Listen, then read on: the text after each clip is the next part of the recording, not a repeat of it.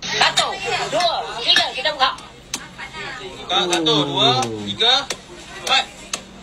Satu, dua, tiga. Ha. Ah. Ui, Lara. Ha, Apa rasa? Ni, tips. Hampa nak pilih durian yang berkualiti. Hampa pilih duri yang besar-besar macam ni. Bukan halus-halus macam ni, tapi besar. Dan confirm, isi dia mesti isi terbaik. Biji halui ya. Ni musangking ni. Eh, sedap. Oh. Dapat pula makan tang hangat-hangat ni. Allah, kuning. Ha! Sekarang pun musim durian. Ah, jom kita buat medical review pasal durian. Ni aku kalau buat medical review ni mesti ada keburukan. Tak ada kebaikan langsung ke? Okey tak apa. Satu kebaikan, satu keburukan. Siapa sini hantu durian? Hampa dapat makan durian, hampa rasa apa? Takkan hampa rasa pandai makan? Mesti seronok. Tahu apa siapa? Dalam durian tinggi dengan tryptophan. Tryptophan tu adalah amino acid yang menghasilkan hormon seronok. Ha, ni dia. Tryptophan yang ada dalam durian boleh convert kepada hormon serotonin yang mana hormon gembira untuk kita. So, tu antara kebaikan durian. Ha, cukup bagus. Ha, tapi yang ni, oi, ni tak elok ni. Mampus, terminal aku tegang. Oi, janganlah pasal.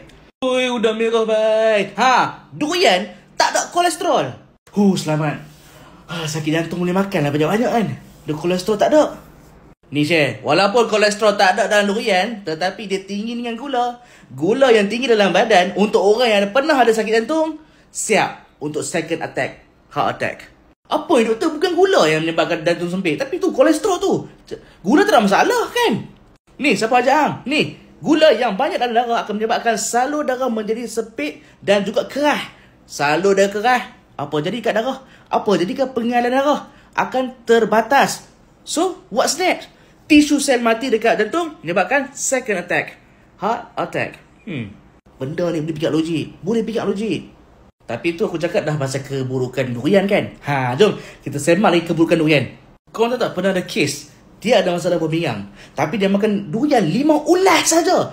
Masalah buah pinggang, makan lima ulas, last-last, jantung stop. Tek. Udah ECG macam ni. Uh, tak ada rhythm langsung. Maksudnya jantung dia stop berfungsi. Gagah pilari PA emergency. Last-last meninggal.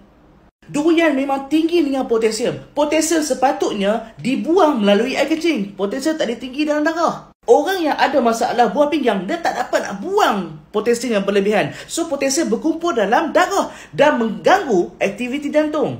Sebab tu, last kali, dia menyebabkan jantung pun stop. Asystole. Sudden cardiac death.